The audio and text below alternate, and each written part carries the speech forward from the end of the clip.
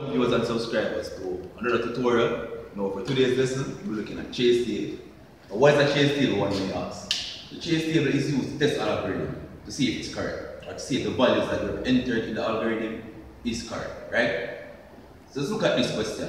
The question says use the algorithm above, right, to complete the trace table. So we're going to use 4 as the input value for x, for this x right here, right? Let's analyze this algorithm.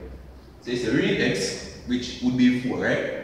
For m equal 1 to x, which would be 1 to 4, y go equal to x minus m, and z equal to 5 multiplied by y minus m. Alright.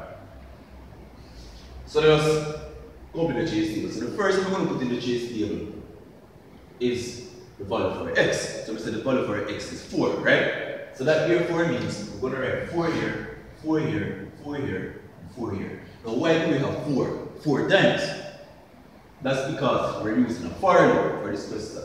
On the for loop, the start values and the end value. So start values and end value. So 1 to 4.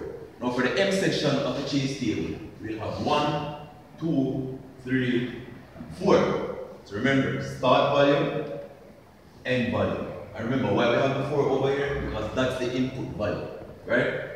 So let's calculate the one find the value for x, for sorry, for y and z. Now the formula for y says y equals to x minus m.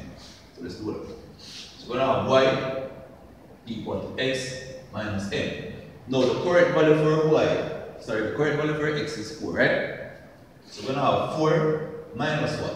1, which is the correct value for m. That's going to equal to 3. So we write 3 here. Multiplying z.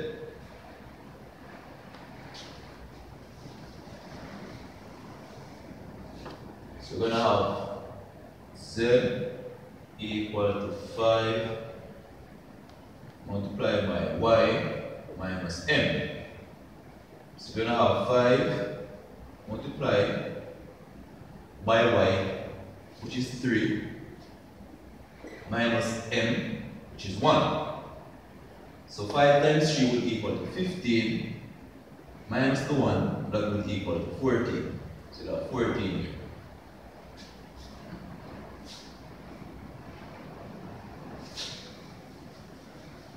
Alright, let's go to the second part of the trace table. So again, y equal x minus m. So we're gonna have x is still 4, right? Minus m which is now 2. So it's gonna equal to what? 2. Alright. And the value for y value for z for z 5 multiplied by y minus n so that's 5 multiplied by 2 minus 2. So 5 times 2 is 10 minus 2 that will be equal to 8, right? So 8 divided 0. So check the description for the complete solution for the trace table.